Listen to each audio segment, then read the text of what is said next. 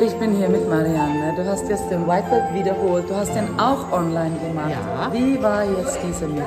Ah, Das war ganz anders, das war viel besser, das war ja einfach ja, energetisch. Ja. Energe- ist- man, lernt, man lernt die Bewegungen richtig und, und, und das äh, kann man im Whitebelt nicht, weil, ja, weil man es nicht spürt, weil man nicht weiß, wie man es macht. Und wenn man es jetzt Okay. richtig macht, dann ist es, wird es immer besser. Wird immer besser, aber der Online war doch auch nett. Online war super. Ja. Ich habe das ganz toll gefunden, dass wir so viel Zeit hatten. Äh, Okay. Zum Vorbereiten immer super. Ah, ich liebe, dass wir immer authentisch sind. Also online ist schön, da Zeit zwischen jeder Session ist. Aber in Person, das ist eine ganz andere Die Energie. perfekte Ergänzung. Ich denke, die Zukunft ist die Mischung, oder? ja.